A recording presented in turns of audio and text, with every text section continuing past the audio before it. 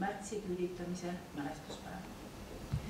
seitsekümmend aastat tagasi üle kahekümne tuhande eestlase elud muutusid täielikult. võib-olla me ei peaks sellest rääkima. aga me, selge on see, et kui me ei mäleta, siis võib kõik jällegi korduda. väga paljud inimesed jätsid sinna oma elu. Paljud inimesed tulid tagasi, aga nende elu ei muutunud enam mitte kunagi selliseks, nagu ta oli enne seda. ma palun, et me tõuseme ja teeme leinaseisaku nende inimeste mälestuseks,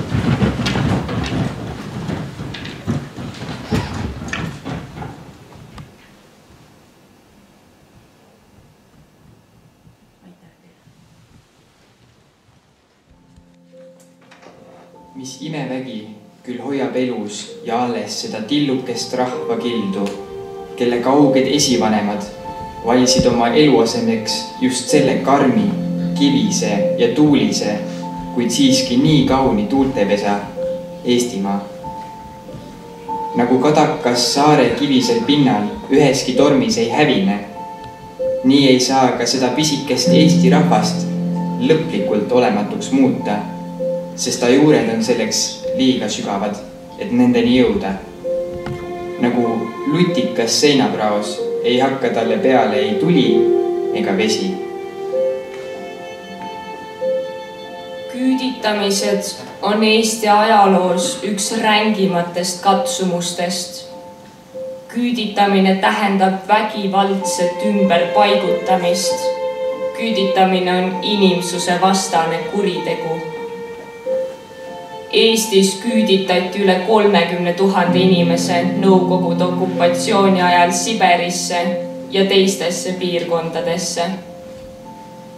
Nõukogude Eestis elava eestlase jaoks olid need keelatud mälestused, mille kättesaamatuse üle hoolikalt valvati.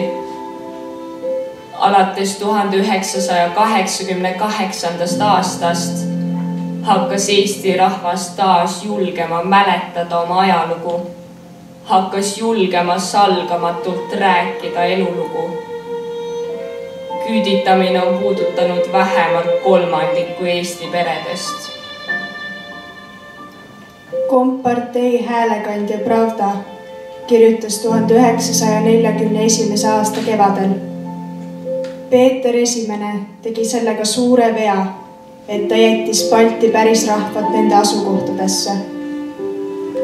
tuhande üheksasaja neljakümne esimesel aastal otsustasid Nõukogude julgeolekuorganid selle vea parandada ja alustasid kohe peale Baltimaade okupeerumist ette valmistama suurejoonelist elanike ümberasustamist. nagu hiljem leitud materjalidest selgub oleks tuhande üheksasaja neljakümne esimesel aastal Nõukogude korra kestmajäämine viinud Siberi teele kogu Eesti rahva.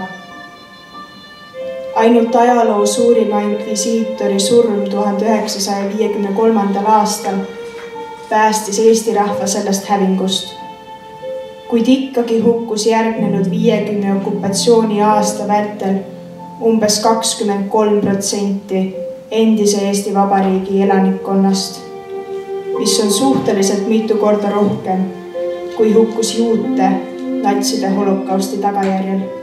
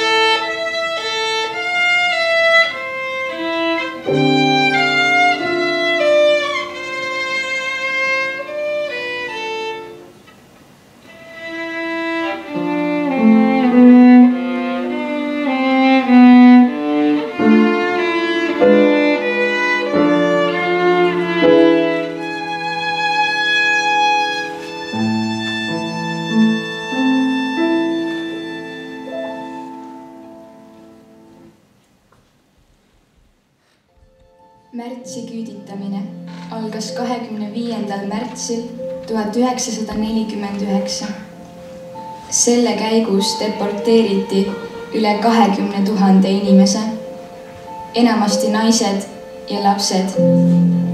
suurem osa neist saadeti Krasnojarski kraisse ja Novosibirski oblastisse.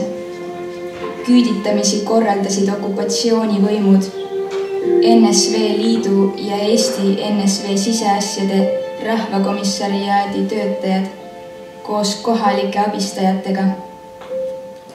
relvadega ähvardades sunniti inimesi oma kodudest lahkuma ja toimetati loomavagunites minema. Nende varad konfiskeeriti. küüditajad olid erineva stiiliga mõnel pool anti asjade pakkimiseks aega mitu tundi, teisel napp pool tund. Mõnel pool jagasid sõdurid nõu, milliseid riideid ja tarbeesemeid kaasa võtta ning aitasid pererahval pampe autole tassida. teisal krabati vähesedki esemed inimestel käest ära ja keelati nende kaasavõtmine tuhande üheksasaja neljakümne üheksanda aasta märtsi küüditamine tabas hinnanguliselt kahte koma kuut protsenti Järvamaa rahvastikust. Plaanis oli Järvamaalt välja saata tuhat seitsesada seitsekümmend kolm inimest, ent erinevatel asjaoludel õnnestus neljasaja viiekümne kolmel inimesel küüditamisest kõrvale jääda. märtsi küüditamisest pääsenuid saadeti tagantjärele välja veel kuni tuhande üheksasaja viiekümne kuuenda aastani. Siberisse jõudes valitses laagrites range järelevalve. välja saadetud jagati konkreetsete piirkondade vahel, kust lahkuda polnud võimalik. laagrites valitsesid erinevad töö ja elamistingimused, mistõttu on keeruline üldistada kuid kokku suri tuhande üheksasaja neljakümne üheksandal aastal küüditatutest asumise ajal viisteist protsenti. Katkendid Milvi Roosilehe meenutustest Kaarel Aluoja koostatud raamatust Ära. valdadest kõige väiksema küüditatava arvuga paistis silma Imavere, seitsekümmend inimest Neist Venemaa kurnatud ja paljaks söödud avarustesse jõudis toona nelikümmend neli Imavere last. Nende hulka kuulus ka Elmar Posti pere Tillu talust. ema Anna, abikaasa Elli ja lapsed Milvi, Elvi, Märt, Eevi ja Erna. Elmar saadeti Vorkutasse tuhande üheksasaja neljakümne seitsmendal aastal. pärast seda kui ta end omakaitses oleku eest oli aastaid kodutalus varjanud. pere muud süüd endal ei teadnud. nii ei osatud ka küüditamist karta. Ometi tuldi järele ka neile, kuigi mõni päev hiljem. Milvil, pere vanimal lapsel, oli tookord vanust kümme aastat. Milvi meenutab äraviimispäeva käisin Imavere kooli kolmandas klassis. oli kooli vaheaeg. küüditamise päeval ei puudutanud meid keegi. alles kahekümne kaheksanda märtsi pealelõunal sõitis auto sõduritega õue. ilus koolivaheaja ilm oli. sõdurid olid tegelikult toredad. loopisid meile autokasti patju ja tekke kaasa isegi kaks hernekotti pinnasid üles. aga kaasa lihtsalt polnud midagi võtta. isegi leiba oli kodus vaid kaks pätsi valmis, sest leivategu ootas just ees. Sõit Siberisse oli kole.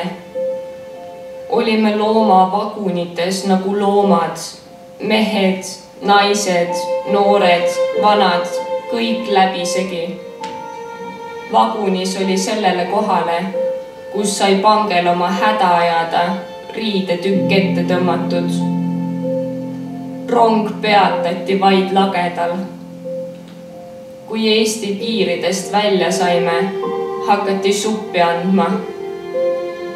kuigi posla-maslaga tehtud, oli see vähemasti mingi kuum asi.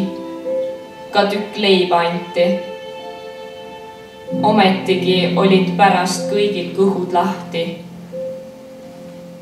vagunis oli väike plekkahi, millel saime kaasas olevatest hernestest süüa teha.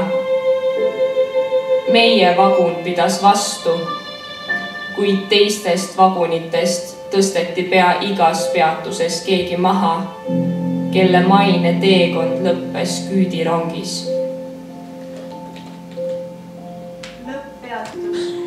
oli Harki, Harikski raudteejaam Irkutski oblastis. meid viidi traktorikärudes Ujani külla. hobuseriistade kuuri löödi laudadest vahesein ja eraldatud osa anti meie perele eluasemeks. isa Elmar enam meiega ei olnud. tema oli surnud varem Vorkuta vangilaagris kollatõppe esimene suvi oli kõige hullem. paar kilo jahu nädalas lahjaks kördiks. vanaema suri juba sügisel. eks ta nelja, nälja kätte surigi. Kui ema sai karjalauta tööle, läks veidi lihtsamaks. käisime lastega salaja laudas lõssi joomas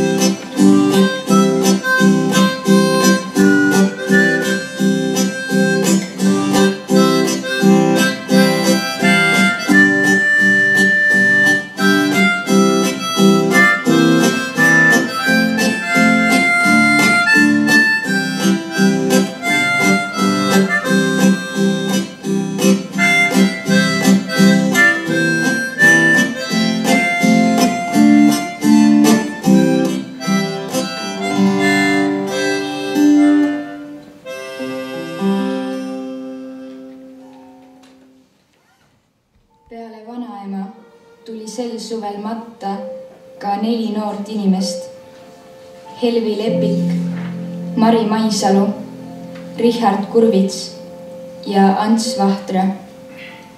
kõik nad uppusid Oka jõkke, kui teisele kaldale heinamaale hakkasid minema ning paat ümber läks.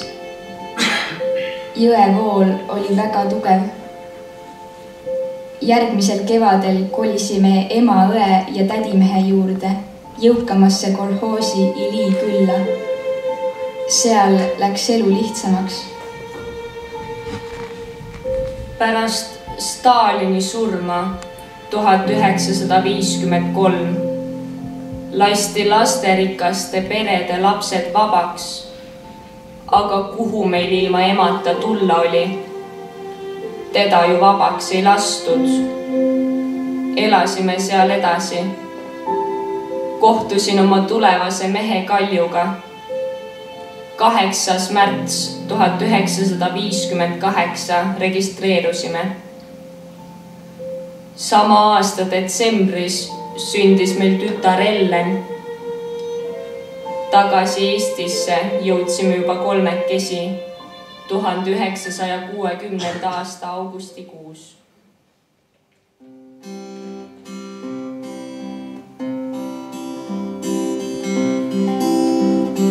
Tahaksin kodus olla, kui õunapuud õitsevad ja nende roosakad õie mu juukseid heivad ja nende roosakad õie mu juukseid heivad. ma tahaksin kodus olla kui rukkipõld kollenda ja kollakat pruunikat vilja tuldaasa hällita. ja kollakat pruunikat vilja tuldaasa hällita.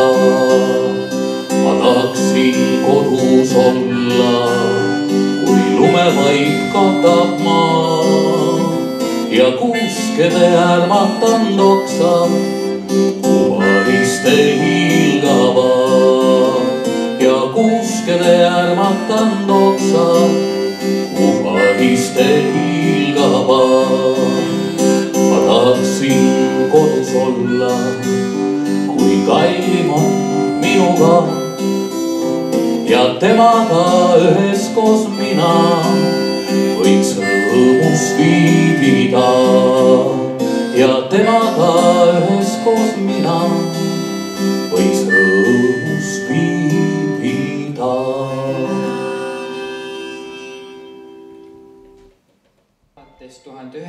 viiekümne kuuendast aastast lubati küüditatutel Eestisse tagasi tulla, kuid nende varasid ei tagastatud varade tagastamine sai võimalikuks alles pärast okupatsiooni lõppu ja Eesti taasiseseisvumist. laagrite ja vanglate uksed tõepoolest avanesid. süütutest inimestest mitmed said koju tagasi. paljud jäid igaveseks Siberi mulda. Kuid see, missuguse sügava pitseri on vajutanud selline õudus inimeste hinge mis jäi sinna veel kauaks-kauaks. selle kirjeldamiseks jääb sõnadest puudu. Nende inimeste meenutusi lugedes ja kuuldes mõistame, mis tähendab kodu ja kodumaa, mis tähendab koduigatsus ja meie lähedaste olemasolu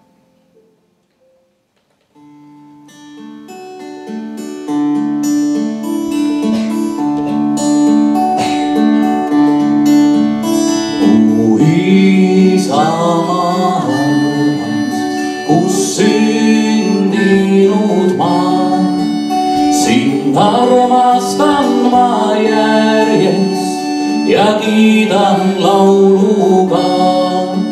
sind armastan ma järjest ja kiidan lauluga. ei seebrid, ei palli ei kasva me maa, kuid siiski kenad männid ja kuused kaased ka. Kuid siiski kenad männid ja kuused kaased ka. ei hõbedat kulda, ei leidu me maa, kuid vilja kandvat mulda on küllalt igal pool. kuid vilja kandvat mulda on küllalt igal pool. oh õitse veel kaua mu isade maa, see maa, kus palju vahvust ja vaimu vara ka. see maa, kus palju vahvust ja vaimu vara ka. su hooleks end annan ja truuks sulle jään. nii kaua kui kord suren